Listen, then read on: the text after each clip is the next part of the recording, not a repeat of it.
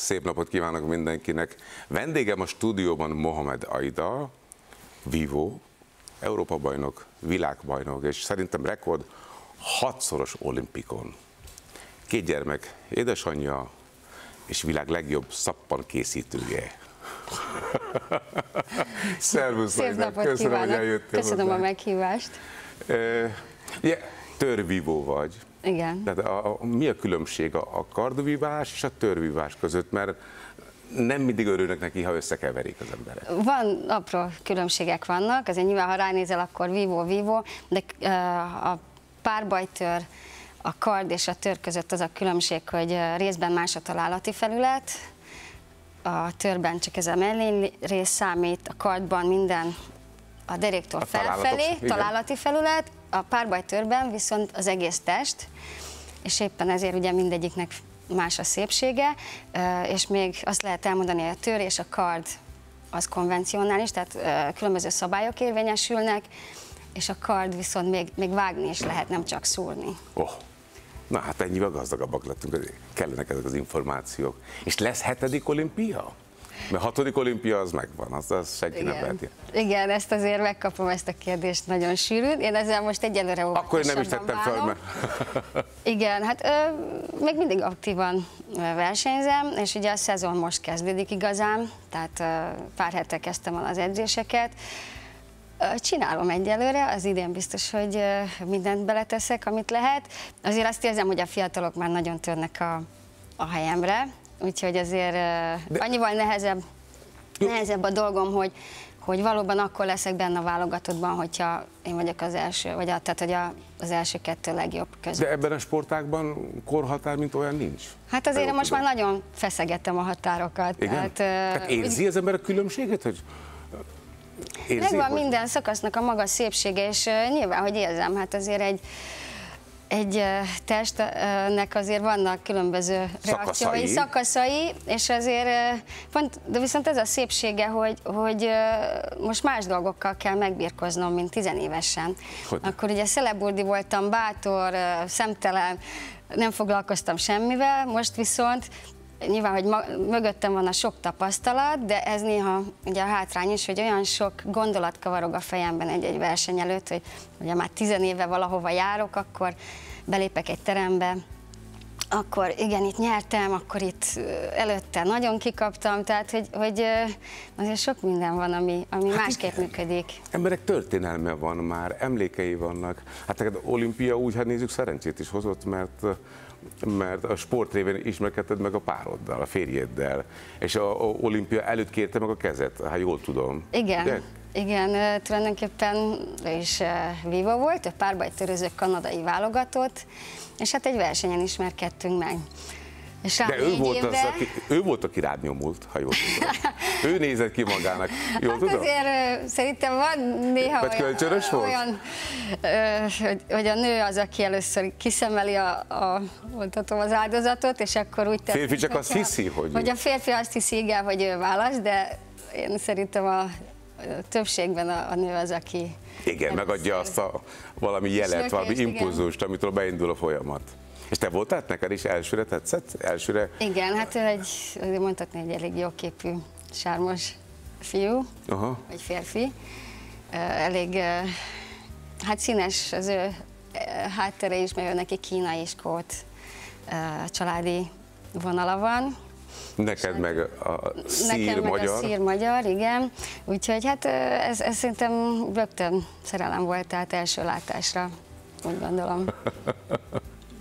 De hát mindennek ára van, ugye? Tehát ő Kanadában él, ő nem akar máshol élni, te meg itt vagy, utazgattok. Hát Igen, sosem volt egyszerű a, a, a mi életünk, tulajdonképpen amióta megismerkedünk, egyfajta távkapcsolatban élünk, és hát ez a házasság után sem volt nagyon másképpen.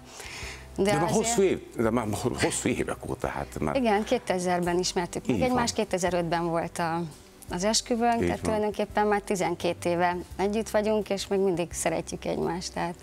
Lehet, hogy benne van a pozitív... távkapcsolat, hogy nem mindig vagytok, hogy van kipihenni lehetőséged? Nem hiszem, azért szeretném, ha többet lennék Igen, együtt, nyilván, hogy... Ez. Hogy ez lenne a normálisabb. A pozitív emberek azt szokták mondani, hogy ez a hosszú kapcsolat titka. Hát azért találkoztam negatív példákkal, mert van, amikor nem bírja ki kapcsolatot, hogy, hogy akkor ez, ez, ezt hogy, hogy csináljátok, és akkor ez nem jó. Uh, nyilván, hogy vannak szépségei is, vannak hátrányai is, tehát azért érzem a mindennapokban, főleg két gyerekkel azért uh, sokkal nehezebb a, a történet.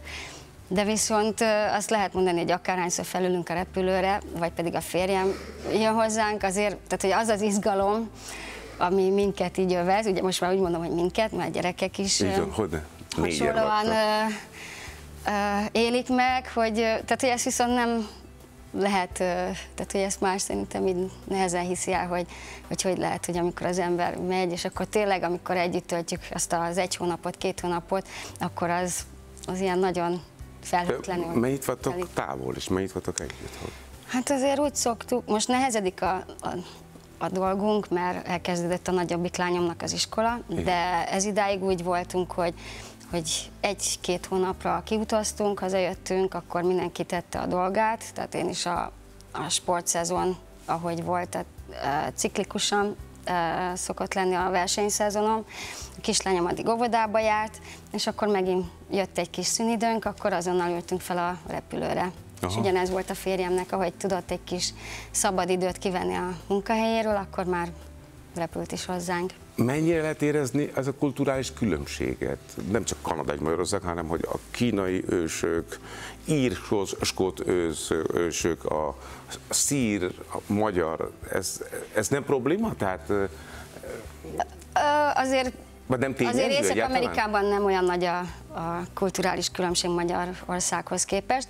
Amit a mi családunkban lehet érezni, hogy azért a, az étkezési szokások, tehát ott a, a nagymama nagyon szeret kínai ételeket főzni, a férjem is nagyon ügyesen főz, sőt, lassan már én is jobban fogok tudni a kínai ételeket, mint a magyarokat, mert őtőle nagyon sokat tanultam ilyesmit azért megemlítik az új évet, de, de szinte Igen. ugye ott, ott azért már annyira uh, annyira jól kezelik ezt a multikultúrát, hogy, hogy nincs olyan nagy különbség, ugyanúgy tartjuk a karácsonyokat, tehát hogy, hogy ott, ott nem, nem tény, nem, mert pláne két ember szereti nem. egymást, akkor ezek Igen. totálisan kezelhetők. Nem is probléma, hanem érdekességeként. Ugyanaz, ugyanazok az ünnepeink. Tehát Igen. ott inkább az, hogy Észak-Amerikában egy pár olyan plusz ünnep van, ami viszont már nálunk is egyre jobban divat. Például sokszor szégyellem magam, de megfeledkezem az apák napjáról.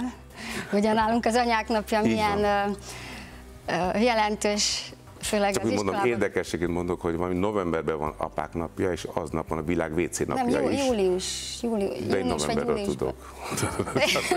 Csak hogy, hogy tudjál megegyezni, novemberben vala, vala, és akkor van a nemzetközi WC napja is, mert világban nagyon kevés embernek jut igazi Na, de most már ezt De például ez a Valentin nap is nekem még mindig néha idegen, tehát nekem még úgy nem, nem tudtam befogadni, megemlítjük, de, de én nem, nem úgy viszonyulok hozzá, mint, mint egy karácsonyhoz, vagy egy húsvéthoz. A te gyerekkorodban mennyire jelen volt az édesapád? Beszéljünk arról, az mit hoztál onnan, vagy mit cipelsz onnan? Hát nekem sajnos abszolút nem volt jelen. Tehát engem édesanyám egyedül nevelt fel. Tehát ő visszament? Én... Hát ő itt volt diákként, és úgy igazán szinte a születésemtől fogva én, én Hát ha jól emlékszem, egyszer vagy kétszer találkoztam vele kiskoromban. Aha. Tehát ő, visszament, sokáig élt Magyarországon még előtte, de, de nem volt úgy kapcsolatom vele. Amit viszont én így örököltem, az a nagyszüleimtől. Tehát én nagyon sok időt töltöttem vidéken. De vecser? Igen, igen. És nagymamám most úgy el idén. Úgyhogy ez most egy kicsit fájó pont olvastam tegnap, hogy a vörös iszap, és amikor katasztrófa volt, akkor mennyire féltettél őt, és akkor hogy akkor nagymama most felhőjön a Pestre, és vigyáz a gyerekekre. Igen, így, így történt, így. Hát azért az elég nehéz hozzá. időszak volt, tehát azért az a vörös iszap, ez egy olyan Tehát így az ember el se hiszi, hogy, hogy ilyen Magyarországon megtörténhet. Tehát ez, sajnos ez. Tehát, és akkor tulajdonképpen utána, tehát úgy, úgy történt, hogy egyből elmentünk a nagymamáért, és utána hát majdnem két évig nálunk nálunk volt, aztán megszökött szó szerint. Vissza, vissza. Visszament, igen, mert azért ugye ilyenkor az idősebbek hát vágynak haza. És akkor És idén kezdve... ment el a nagymama? Igen. Tehát ez mindig egy, egy külön viszony a nagymama, pláne gyerekkorában a nagyszülő nagyon fontos szerepet játszik, akkor olyan lelki kapocs jön létre. Igen. És nem pótolható. Ez bárki bármi. Ugye vannak nem pótolhatatlan emberek. Igen, és ugyanígy a nagypapa is, tehát ő volt nekem a, tulajdonképpen az apuka szerep. Vagyis még, még mellette, aki nagyon sokat hozzátett, ugye ahogy felnőttem, az az edzőm volt. Tehát egy olyan kapcsolatunk van, hát szinte ugye 9 éves koromtól kezdve. Igen. Uh, hát a mai napig, Igen. pont most edzésről jövök, és Igen és tehát, hogy... És úgy kezelt téged, a... tehát van ez egy 9 éves kislány, aztán felnőtté válik, éli saját életét, és, és ugyanúgy kezelt téged? Persze, Ugyan. tehát a viszonyt nézve. Uh, Hát hazudnék, ha azt mondanám, hogy ugyanúgy, mint a többieket, mert azért korán látta bennem a tehetséget, tehát azért korábban volt az, hogy megfigyelm, vagy tehát, hogy nagyobb figyelmet kaptam, de de nyilván, hogy velem is szigorú volt, sőt nekem ez nagyon tetszett, vagy nagyon jó volt, mert ugye, mint apa nélkül, az ő szigora, szigorára nagy szükségem volt. És pont ezért, amit ő mondott, mindent követtem, tehát minden szavát. Hm. Aztán persze eljött egy idő, amikor már elkezdtem.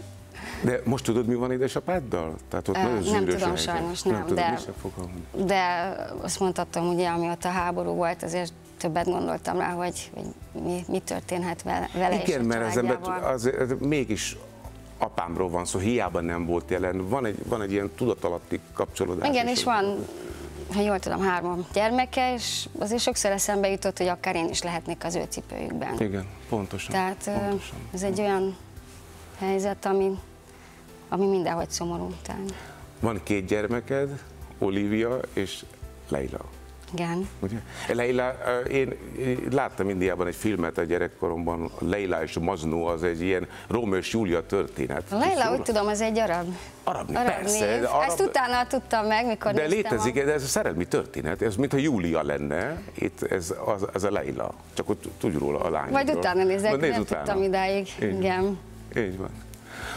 Nagyon sokáig nem akartál tudomásul venni, nem akartál beszélni, egy sportemberként külvilágnak semmi közöm, hogy én megoldom, vagy nehezem, mert szurkolok a gyerekemnek, mert nem akarom, hogy ez legyen, de ez a Williams szindróma, igen, ami az Oliviának. Oliviának van. van. Ugye ez egy genetikai rendellenesség. Igen. Valóban, hát évekig én, én nem is tudtam erről abszolút beszélni korán, azért viszonylag korán megtudtuk, hogy Mikor mi a történet. Már a születésnél probléma volt, utána kaptunk egy pár téves diagnózist, de tulajdonképpen olyan 10 hónapos kora után már tudtuk, hogy, hogy mi is a, konkrétan a, a helyzet. Hát azért ezt elég traumaként éltem meg. Igen. Főleg Mit mondtak a dokik, mik a kilátások ilyen, ezzel a betegséggel? Ilyen, ilyen, ilyet nem mondanak. Vagy, vagy mi, Tehát, mi, hogy egy, egy összetett ez? Tulajdonképpen genetikai betegség, ami lassabb fejlődési ütemmel némely gyermeknél különböző szervi problémákkal jár. Nálunk tényleg az volt, hogy, hogy sokkal lassabban volt a fejlődési üteme. A mai napig azért úgy hívják, hogy speciál, sajátos nevelésigényű gyermek. Hát tényleg születésétől kezdve nagyon sokat foglalkoztunk vele, rengeteg helyre mentünk, a mai napig is azért külön foglalkozásokat kap. Hát a, a, viszont sok öröm van azért mellette vele, tehát vannak olyan személyiségjegyei, Igen. Amit, amit azért most látok, hogy, hogy sokkal több szeretetet igényel, sokkal több szeretetet ad, mindenkihez szinte oda megy, és érdeklődik, és keresi a kapcsolatokat. Inkább most már néha vissza kell húznom, hogy Olivia nem megyünk minden idegenhez hoz, oda, Mert benne Tehát, nincsenek ezek a, a ravasságok, meg igen, ezek a... Igen, nagyon őszinte, ugye? és igen. nagyon, igen, tiszta jóság tulajdonképpen. Félted őt nagyon? Hát persze féltem, és, és bármit, tehát egy óvodát, egy iskolát sokkal gondosabban próbáltam kiválasztani. Persze mindenki a saját gyermekének a legjobbat szeretné, de azért ugye még ezek a faktorok még, még tudatosabban. És Leila mennyire van tisztában azzal, hogy de gondolom, kettő kapcsolata nagyon fantasztikus lehet. Igen, de ugye? ugyanolyan, mint bármelyik más kis testvér, tehát Igen? kis és nagy testvér, azért sokszor vannak szurkapiszkák, persze Jó, hát a kicsi az, húzza ki a, sokszor a, a nagyobbból a, a reakciót. Nem tudatosítom bennük, hogy most itt betegségről van szó. Tehát az Oliviával sem bánok úgy, hogy, most ő neki valami problémája van. Tudatosítok néhány dolgot, tehát azt, azt sokszor elmondom neki, hogy akár készülve az iskolára, vagy amikor nyáron készültünk, hogy sokkal többet kell dolgozni bizonyos dolgokért. A Leilának persze minden így megy, tehát hogy a zöltözködés, a, a cipőfelvétel, minden Isten adta ö, áldás. Hát az Oliviának viszont mindennél sokkal többet kell dolgoznia. Igen. De úgy gondolom, hogy, hogy azért tehát, hogy nekem is sok, sok mindennél többet kellett Küzden. küzdenem, és ez ember válogatja. Ezt mondogatom neki, hogy ne add fel egyből, hanem igenis próbáld meg harmadszorra, és akkor majd segítek. Te hiszel a sorsban, Istenben van ilyen kapaszkodó? Uh, én inkább a természet erejében, tehát... Uh, igen? Mert felteszi kérdés, hogy, hogy, hogy miért hogy, kell ezt tapasztalnom, tehát miért ezt Hogy miért én kaptam? Igen, vagy... tehát van ilyen, kérdés, van ilyen kérdés az emberben? Uh, persze, miért van ilyen kérdés. Uh, érdekes, mert uh, gyerekkoromban is vagy, tehát hogy várandóság előtt is sokszor volt ez az érzésem, hogy, hogy csak ne legyen a gyermekem, tehát hogy ne legyen semmi baja, és sokkal jobban szorogtam ez iránt. Tehát a Leilának például eszembe se jutott, hogy, hogy most neki bármi problémája lehet. Az Oliviánál nagyon sok szorongás volt bennem, de már tinédzser koromban is így, így néha előjöttek a gondolatok. Hát ez hát, intuíció, az anya-gyerek kapcsolatot, ez, ez nem lesz semmivel se hasonlítani, tehát ez annyira, annyira mély és... Én annak tulajdonítom, hogy hát ez a természetben benne van, tehát Igen. ez egy genetikai, ami, ami egy, ha így látom, hogy fantasztikus dolog, hogy, hogy miket tud meghatározni egy-egy tényleg egy, egy gén módosulat, vagy egy icipici Icipici. részecske. Tehát, hogy, Igen. hogy nálam nem is az hiányzik, hanem csak egy kis uh, módosulás, vagy hajlás van Igen. a DNS-ek között, és hogy, hogy ilyen uh, módon meg tudja határozni a karaktert, a fejlődést, tehát hogy ha ez, ez fantasztikus. Mindenük egy kis apró dolog. Igen. De neked, mint az sportember, aki küzd, aki koncentrál, aki tudja, hogy most lent vagyok, innen fölállok, és végigcsinálom a döntőt, vagy bármi, ezért ez nagy segítség, nem? Hát benne, úgy gondolom, hogy azért a hétköznapokban ez benne van, bár amikor a, tehát hogy a, a nagyon mély ponton voltam, amikor megtudtam, hogy, hogy mi is a probléma, és ezt próbáltam feldolgozni, azért a legjobb terápia az a sport volt. Tehát az volt az egyetlen egy szín, színhely, ahol tényleg úgy kikap, ki tudtam arra 5-10 percre kapcsolni, mert különben tényleg már az őrület határán ha voltam. az ember, így van. tehát, hogy valószínűleg, hogy ezért nem is tudom abba hagyni ezt a sportot egyelőre, mert annyira függőségbe vagyok tőle, hogy, hogy mindenre ez a megoldás. Viszont tényleg a, a gyereknevelésnél is érzem, érzem ezt az oldalt, hogy, hogy, hogy az Oliviának is azt sugallom, hogy, hogy de igenis próbáld meg, és, és tehát, hogy ne egyből felad, mert sokszor hallom azt, hogy nem tudom. Nem, nem, próbáljuk meg, és utána, utána nézzük meg, hogy, hogy Erős vagy, jutunk. vagy erősnek mutatod magad olyankor? Mert ebben szíve uh, megszakad olyankor, és, de mellette muszáj erősnek lenni, mert... Én nagyon kétélű vagyok, tehát tudok nagyon erős lenni, de mellette meg, tehát hogy bármikor el tudom pityeregni magam, bármikor sőt, hallgatok egy, egy boldog zenét, vagy egy, egy bármi pozitív dolgot, azon is sokszor sírok, és akkor az Olivia így nagyon mindig monitoroz, hogy anya, mi baj van? Mondom, semmi baj nincsen, csak, csak tetszik és szép, és, és átadom magam az érzéseknek. Tehát, hogy én elég érzelgős vagyok. Jó, hát érzékeny ember vagy, aki, akire hatnak az impulzusok, vagy igen. bármilyen kis mikrotörténések, nem? Igen, bár a gyereknevelésnél igen, néha egy mély levegőt veszek, például a mai reggel is, és, és itt nincs mese, keményebbnek kell lennem, néha túlengedékeny vagyok. De azért látszik, hogy te erős nő vagy. Tehát az, hogy ember elpityergi magát, az jó, hát emberek vagyunk, és kell is az. Tehát nem kell itt hősként mutatni magunkat, emberek vagyunk, és vannak ezek a, a érzelmek, amit ki kell adni magunkból.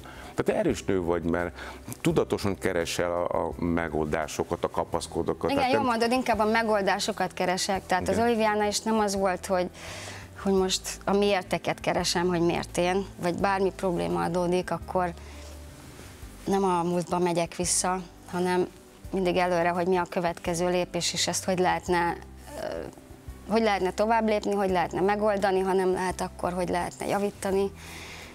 De ez az én életfelfogásom. Tehát, hogy... Lehet, hogy rosszul emlékszem, de azt olvasom, hogy valahol neked de ez a szappan készítés, mert az is egy plusz valami ad, valami kreativitás, de egy elfoglaltság, de valami Igen, ez, izgalmas ez, tevékenység. Ez most számomra egy, egy új dolog, és, és izgalmas is lesz, remélem, ebből szeretnék tovább lépni. De tegnap is, hát sajnos volt, hogy ebéd helyett szapfant főztem. Úgyhogy vagy ez, vagy az. De hát még azért ott, ott sokat kell fejlődnöm, és, és jobban belevetnem magam az üzleti területbe. Készülsz, készülsz arra, hogy mi lesz, amikor abba hagyod a sportot? Úgy gondolom, hogy, hogy egyelőre ez a szappankészítés lenne a, a kiteljesülés utána, aztán valószínűleg, hogy, tehát, hogy a sportból azért nem szeretnék kimaradni. Tehát, hogy ez tényleg ez egy olyan terület, Versenysport, ami... versenyszerűen. De itt sokáig lehet vívni. Most nem arra gondoltam, hogy én magam, hogy vívok, hanem, hanem valamilyen szinten ott maradni a sport, sportban. Most meg azt nem mondom, hogy edző szeretnék lenni, inkább szeretném magam kipróbálni más területen, de viszont nem lehet elszakadni a vívástól. Tehát el tudom képzelni, hogy ha valamelyik gyermek szeretne, akkor, akkor őket támogatni. Hát az élet, de... az élet csupa vívás, párbaj, de az jobb, mint vívódások felesleges. Igen, igen. Hát egy tényleg erős és nagyon izgalmas embert ismertük meg, próbáltalak bemutatni, remélem, hogy mindenki megérezte ezeket a kis finom mondatokat és a gondolatokat a személyiségekben. Köszönöm, hogy eljöttél. Köszönöm szépen. Köszönöm szépen.